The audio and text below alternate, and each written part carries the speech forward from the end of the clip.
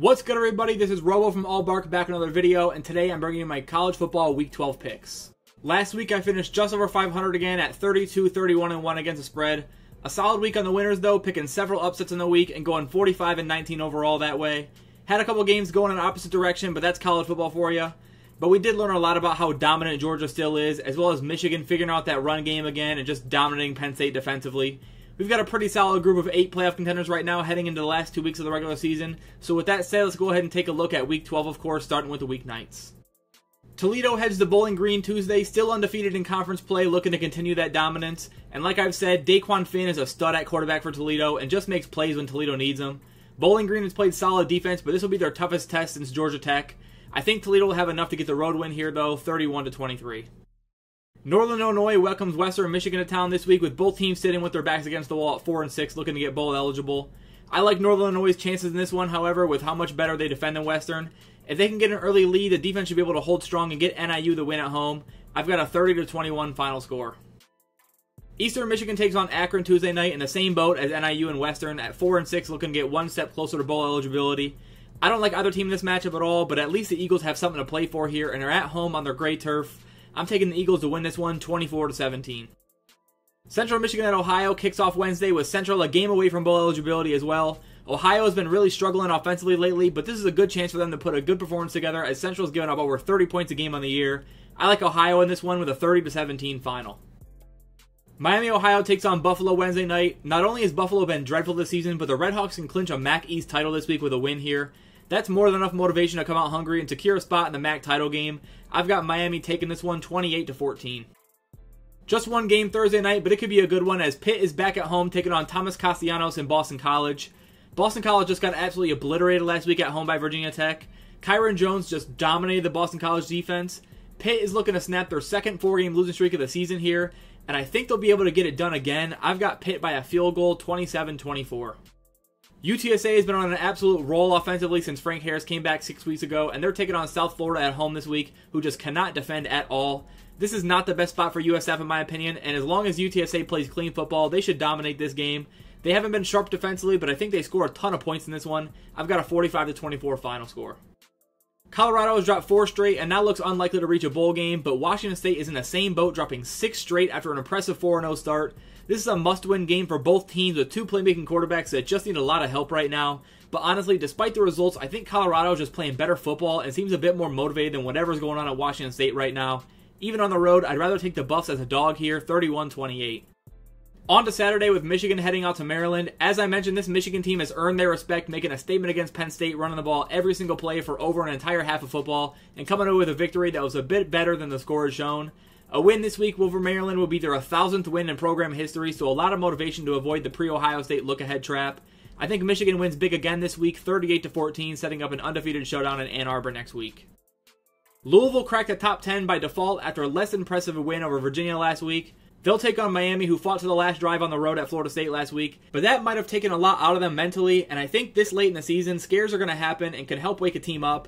Louisville will be in for a tough game, but I trust them to bounce back and win this one on the road 27 21.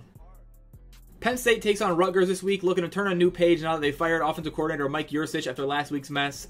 And they'll host Rutgers that couldn't score a point at Iowa and barely got over 100 total yards in the day. Now up against Penn State's defense, it'll be another struggle. I think Penn State comes out strong here and takes this one 34 to 10 in a statement win. It's non-conference week for a majority of the SEC. Some games are left out as there's no spread available, but Ole Miss and Louisiana Monroe have one as is an FBS opponent. Ole Miss will obviously dominate this game and get the backup some reps later on. I've got a final score of 45 to 10 for the Rebels. Oklahoma got back in a big way last week, demolishing West Virginia's defense, and now will head out to BYU, who's just taking beatings left and right right now. I think Oklahoma's just out for blood right now, trying to finish the season strong, and BYU is not a team I'd want to back, even at home, as we saw last week. Give me the Sooners 42 to 17.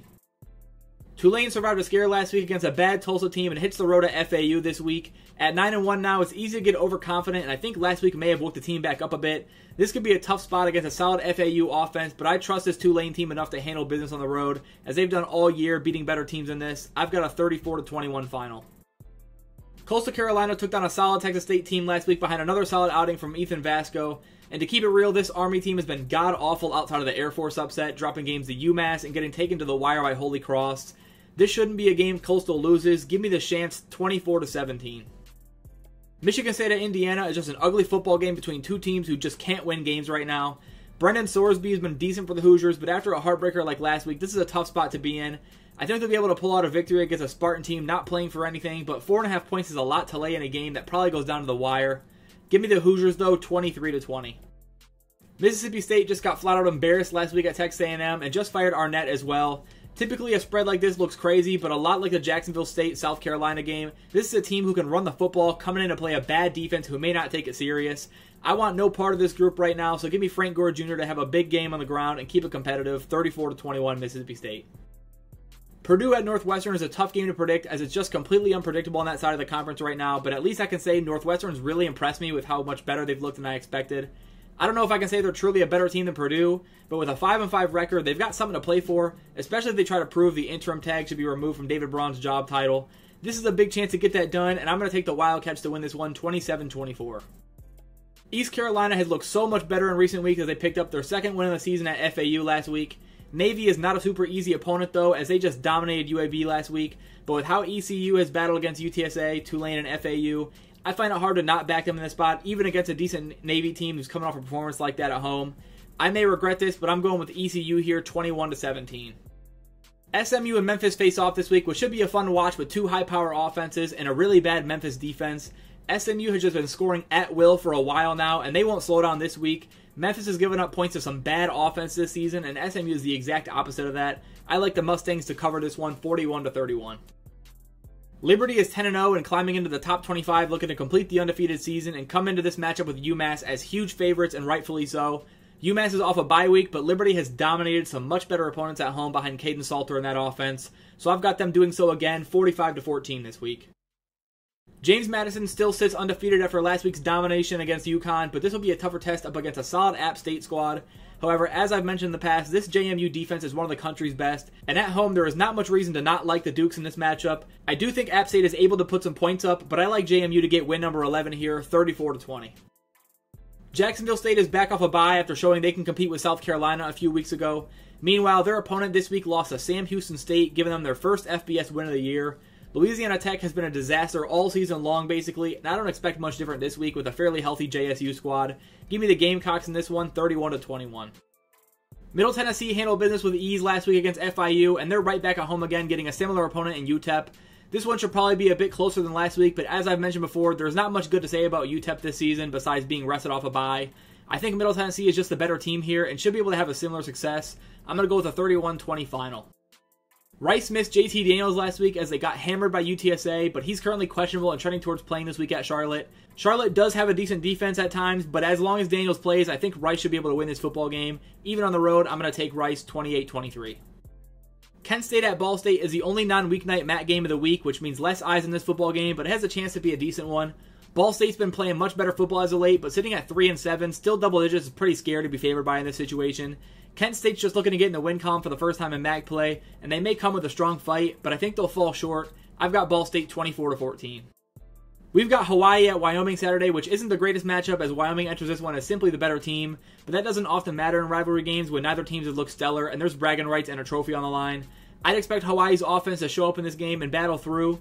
Wyoming should be able to rely on the run game as well, though, and pick up the win 31 21. Utah at Arizona has game of the week potential with just a one point spread favoring Arizona at home here. Arizona has been incredibly good in this spot, and Utah's coming off a tough loss to Washington where they look pretty good. This will be one of the toughest defenses Arizona has seen, but I've learned to trust them at home, and I've got them taking a thriller 28 24. West Virginia will look to rebound after last week's rough outing against Oklahoma as they've got Cincinnati at home. Emory Jones hasn't been awful, but this Cincinnati team hasn't gotten anything going besides Corey Kiner and on the road for a second straight week. They're not a team I want to trust to replicate last week's performance. I like Garrett Green and West Virginia here, 34 to 23. Duke and Virginia are both coming off tough losses last week, with Duke dropping a heartbreaker in double overtime and Virginia choking a fourth quarter lead at Louisville. I worry about the spot for Duke on the road after a game like that at UNC, and Virginia has played some much better football as of late, like we saw last week. Duke has been the better team this season, but I think Virginia might be able to get it done against a low morale Blue Devil group. I've got a 27 24 final for the Cavs. North Texas at Tulsa this week will once again make a run for the highest scoring game of the week, as most North Texas games are. Easily one of the worst defenses in the country on the North Texas side, and Tulsa has been absolutely crushed on occasion this year. but I like the way they battled up against Tulane last week. At home, I wouldn't be surprised to see them pull off a slight upset here against a really bad defense. Give me Tulsa 38 35. Temple is playing much better football with EJ Warner back at the helm and somehow was able to keep that game tight last week and cover. I don't think UAB is too tough an opponent for them to replicate that type of performance with a spread over a touchdown. I'd expect UAB to come out on top at home, but I think Temple's got a shot in this one. I've got the Blazers though 34 to 28. Texas State at Arkansas State is an interesting one in the Sun Belt as Arkansas State is seeking bowl eligibility with a win here at home. Both teams are out of the Sun Belt race, so I'd like to think Arkansas State will be the more motivated side here. Texas State is a solid football team, but I'm picking up another upset in this one with Arkansas State at home, 31 28. Colorado State hosts Nevada this week with their backs against the wall at 4 and 6. They've got two winnable games in front of them, and it starts this week. They should be motivated to pick up a win here and keep their hopes alive against an inferior opponent who's just looking to play spoiler. 11.5 is a lot of points for a team who struggled this year, but Colorado State has fought tough against some solid teams like UNLV and Wyoming, and I think this is a week where they take control early and get a win 30 to 17. Georgia is back to being my number one team in the country after last week's domination of Ole Miss. Just as dominant of a performance you can get out of the Bulldogs, and they're looking unstoppable right now. Taking on Tennessee and Neyland is always a tough task, but with how impressive the Georgia team looks on both sides of the ball, I would not be surprised to see them have a lot of success yet again here. Carson Beck is starting to gain some Heisman buzz after another win. He can increase that a bit more. I'm going to go with Georgia on the road, 34 to 20. Notre Dame is back off the bye, looking to get back in the win column after a lackluster performance in the loss at Clemson a couple weeks ago. This team should be hungry and rested as they take on a really weak Wake Forest team who didn't even show up at all last week at home against NC State. 24 is a lot of points, but I think Notre Dame has a good shot to get there. Give me the Irish 38 13 this week. North Carolina at Clemson has regained a bit of steam in recent weeks as Clemson's finally gotten back to playing good football, and UNC survived a huge rivalry game against Duke last week. This would be a big chance for Drake Maye to solidify his draft stock towards the top of the 2024 board. But with the way Clemson's playing right now, I think they're going to win this game. I don't love seven points though, as I think USC has enough offensive talent to push Clemson late in this game. But I like the Tigers, 31 to 28. Iowa will take on Illinois this week after arguably their best performance of the season, shutting out Rutgers and finally putting up some points on the board on offense, showing some life against a decent defense. Illinois survived a big overtime scare by Indiana, but this one is not a great spot for them. As we know, Iowa's defense has been dominant and could completely shut down Illinois again this week. As long as Iowa can sustain a bit of the success they had, I like them to come out on top in another low-scoring battle, 20 to 10. Sam Houston State got victory number two on the year and their first FBS level win over Louisiana Tech last week on the road. This week they're back at Western Kentucky taking on a much stronger offensive attack that hasn't looked the way they should. But it's senior day for Austin Reed and the Hilltoppers and what could be his and Malachi Corley's final home game. I'd expect the duo to come play in a big way this week and handle business with a 34 17 win. UCLA and USC is often a close and high scoring rivalry matchup, and this year may be no different as it's Caleb Williams' final regular season game in a USC uniform. He's going up against a stellar UCLA pass rush, so I do think it's a little bit lower scoring than usual because of the offensive issues UCLA has, as well as the impact their defense brings. But I've got USC coming out with a victory here for Caleb, 34 to 31. NC State at Virginia Tech has a chance to be a great game as NC State's proven to be a solid team, picking up some great wins against Clemson, Miami, and a blowout at Wake Forest. And now they're back on the road against Virginia Tech, who has found a playmaker in Kyron Drones at quarterback. This could be a really fun game to watch on Saturday on senior day for the Hokies. I like Kyron Drones to keep pushing the offense forward and picking up a big win here at home, 24 to 21. TCU gets Baylor at home this week, staring at a 4 and 6 record on the year. Typically, this would be a spot where a team comes out fired up, but with Oklahoma on the road next week, I don't know how bought in the bowl hopes to be for this team.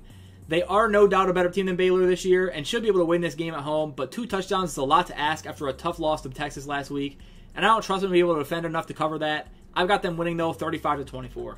Troy continues to dominate the Sun Belt, sitting on a 5 1 record in conference and 8 2 overall behind an incredible defense. This week they'll get a Louisiana team fighting for bowl eligibility with a decent offensive attack. It'll be tough to score on this Troy team on the road, but I think they can play an inspired enough game to keep it within striking distance. Give me Troy taking this one though, 31 to 17. UNLV heads out to Air Force this week for another great battle. Air Force has really fallen off a cliff in recent weeks, though, dropping back to back games in pretty ugly fashion. And UNLV continues to surge, especially offensively, just dominating Wyoming last week behind Maiava at quarterback. I've got to keep rolling with this UNLV team as Air Force has seemed to hit a wall, and this isn't the best spot for them at all either. I've got a 27 21 win for the Rebels. Ohio State may hold on to that number one ranking in the college football playoff rankings tonight after a blowout win at home against Michigan State last week.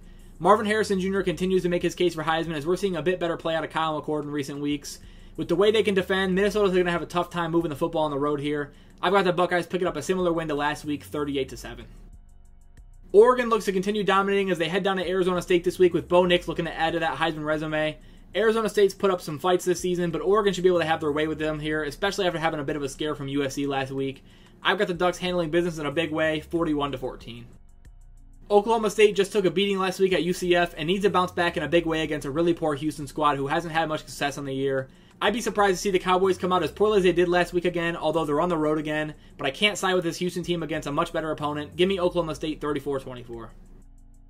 Another SEC cupcake matchup as Auburn will take on New Mexico State this week. Auburn has really come on strong offensively lately, but a matchup like this may be a bit tougher than they expect. New Mexico State has been really solid this season on both sides of the ball, and Auburn enters this one as huge favorites over three touchdowns. I'm not sure I'm a fan of that, as Auburn may not take this game seriously, and New Mexico State is capable of hanging around for a bit. I've got a 38 17 final score. UCF heads out to Texas Tech this week after last week's dominance over Oklahoma State and Texas Tech's upset win at Kansas. Both teams are in letdown spot, so it's really about who you trust more. And as long as Behren Morton plays for the Raiders, I like Texas Tech to come away with a win in this game. He brings a different dynamic to the offense, which can give UCF some challenges on the road. I've got Texas Tech here 31 28. Marshall and South Alabama both sit at 5 and 5 on the year after Marshall finally found some offense last week against Georgia Southern. However, this is still not a team I trust whatsoever after a five game losing streak, and they're back on the road against a bit of an underrated South Alabama squad. I think the Jaguars are both a better team and a bit more desperate for the win here as they've got a tougher matchup on the road next week. Give me the Jags to cover the 10, 30 to 17. Old Dominion enters the matchup at Georgia Southern with their backs against the wall well at 4 and 6, needing to win out for bowl eligibility, and this is a really tough spot for them as Davis Brin has been solid this year and Georgia Southern's coming off back to back road losses. They should be able to get back in the win column here, although Old Dominion won't go down without a fight. I just think they don't have enough to finish the job and live another week. I'm taking Georgia Southern 35 to 24. Cal and Stanford face off this week under the lights in what could be a pretty high scoring game as the Stanford defense only shows up on occasion and Cal is a high powered offense with a low powered defense. However, they have proven to be the better team in this matchup by a decent margin, and I expect them to come out on top here again as Stanford's season's over after their seventh loss last week. Give me Cal 34 24. Kansas State at Kansas is a huge game Saturday night after Kansas suffered a disappointing loss last week against Texas Tech after losing Jason Bean to an injury. Coach Leipold says he's optimistic Jason Bean will be able to play in his senior night, though. And with that being a big rivalry game, eight is too many points for the Wildcats, in my opinion, if Bean suits up. I like the Jayhawks to battle throughout this game all the way to the end, but I think the Cats come away victorious 30 to 28. Boise State and Utah State both sit at 5 and 5 looking to pick up win number 6, but the Broncos just fired their head coach while only a game out of Mountain West, which shakes up a lot of things. I think Boise is a more talented team here, but I question where they are mentally with a new coach for this game, and on the road under the lights, this will be a real tough test for them. Utah State is often in high scoring battles, and I think they may be able to pull off the upset here. I've got a 34 31 final for the Utah State. Washington at Oregon State is no doubt the most anticipated game of this week, especially out west, as this has a lot of playoff implications on the Washington side. Oregon State is a slight home favorite in this one, despite a long winning streak for the Huskies. This should be an incredible game between two great teams. I think Michael Penix can make a Heisman statement with a road win here, and they've just found a way over and over again to come out on top no matter the situation. They've got some defensive issues, but because of Penix and Odunze, I just can't side against Washington, who controls their own destiny, even in a matchup as tough as this. I've got the Huskies in a tight one, 35 31. Missouri will host Florida Saturday night after a dominating performance against Tennessee. Florida was able to hang with LSU for a while last week, but fell short and now heads into another tough spot. Florida has Florida State next week, so this is almost a must win game for their bowl hopes. But even with that motivation, I don't trust them on the road again against a really good Missouri team who continues to impress me. I like the Tigers again here, at 34 21. Arkansas takes on FIU Saturday night after an absolute beatdown last week against Auburn, dashing any bowl hopes remaining as they picked up loss number seven. Arkansas is going to win this game, but I question how hard they really play with nothing else to play for besides pride. It's not a game you really get up for, and I don't think a night game will help much. I think FIU covers a huge spread here, 38 to 10 Arkansas. Kentucky heads to South Carolina for an ugly SEC matchup. Both teams have really disappointed, and South Carolina has their backs against the wall now at four and six. At home under the lights and with Clemson next, I wouldn't be surprised to see Spencer Rattler come away with a big win and to add some more motivation on next week's rivalry matchup. Especially with Devin Leary banged up for Kentucky, give me the Gamecocks to sneak out with a close win, 28-27 at home. Nebraska at Wisconsin is almost as ugly as it can get this week, with both teams' injury reports absolutely loaded and a Nebraska quarterback situation up in the air. You really don't want to side with either team in this situation, but with how poorly Wisconsin looked in Mordecai's return, as well as how lengthy that injury report is, I think six may be too many points in a low scoring battle. I've got Wisconsin winning a close one at home, 17 to 14. Texas got Quinn Ewers back and was rolling at TCU before yet another late game choke that could have potentially cost them the game. That's becoming a trend with this Texas team, and Iowa State is on a roll offensively. This should be a solid atmosphere in Iowa and will be a tough game for Texas, but I'm going to trust the talent gap, especially on the defensive side here, to help lead Texas to a victory here. Give me the Longhorns by 10, 30 to 20. Georgia State heads to LSU to take on arguably the best quarterback in the country in Jayden Daniels, who just put on a historic show last week with over 600 yards in the day. LSU should be able to score at will in this game, but I could see Georgia State putting some points on the board as well, especially later on against some backups. I've got LSU big, but not enough to cover, 49 21. Syracuse finally got back in the win column last week against Pitt, but hits the road again at Georgia Tech, who really just needs to take better care of the football in order to win this game. I think they're the better team for sure, but they'll need a Haynes King to play some solid football this week. I think it happens though, as Syracuse doesn't have much on defense. I like the Yellow Jackets here, 30 to 21. Fresno State took a beating last week at San Jose State in embarrassing fashion and lost Mikey Keene to concussion symptoms in that game as well. If he isn't able to go, Fresno should still win this game against a bad New Mexico team, but I don't know how if they'll be able to cover the spread as big as it is. I'm going to go with a 38 17 final score for the Bulldogs. San Jose State will welcome San Diego State to town this week in an absolute must win game. A 5 and 5 record on the year after a massive blowout win against Fresno State last week, and a very tough road game at UNLV coming up next week. I'd expect San Jose State to go all in on this game and do everything they can to not put their bull hopes on the line on the road in the finale. And I just think the offense is hot right now and should stay hot here. 34 to 17 San Jose State. That's it for my Week 12 picks. As always, let me know in the comments which games you're most excited to see, as well as your favorite picks of the week. Thanks for watching as always, and I'll see you guys in the next one. Peace.